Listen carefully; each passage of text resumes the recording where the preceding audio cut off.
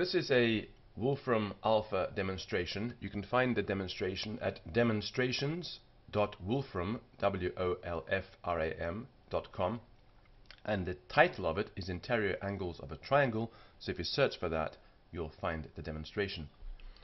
The interior angles of a triangle always add up to 180 degrees and we can see this here quite simply because we have one angle that's 90 and two that are 45. 45 and 45 add up, of course, to 90. And here we have a 90 degree angle, which is, of course, a right angle. And here we have the second 90 degree angle, which is also a right angle. And the two 90 degree angles next to each other, of course, add up to 180 degrees, giving us here a straight line. Remember that we have an imaginary circle around this, and the total number of degrees in this imaginary circle is 360 and half of them, this line is going down the middle of the imaginary circle, so it is the diameter of the circle, is 180 degrees. It's a 180 degree line, a straight line. If we change the triangle, you'll see that this remains true.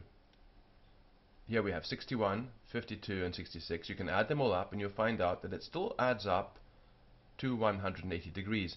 In other words, the angles of a triangle will only ever fill up half of your imaginary circle.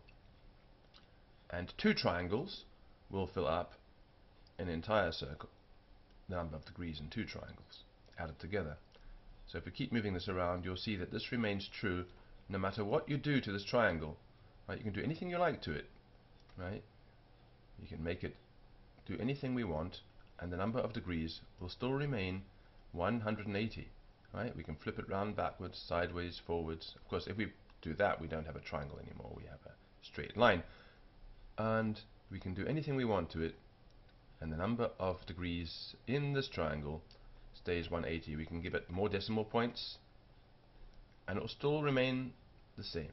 Okay, it makes no difference how many decimal points we put right? We can increase the number of decimal points to an absurd level something you'll never find in your maths book and you'll see that it remains true that the um, sum of the angles in a triangle is 180 degrees and so a triangle, the number of degrees in a triangle is the same number as in half of a circle. There's the center of the circle. Here's the imaginary circle going around and this triangle here is um, half of the circle. Here's the diameter of our imaginary circle. Okay. And the number of degrees adds up to 180, giving us a straight line.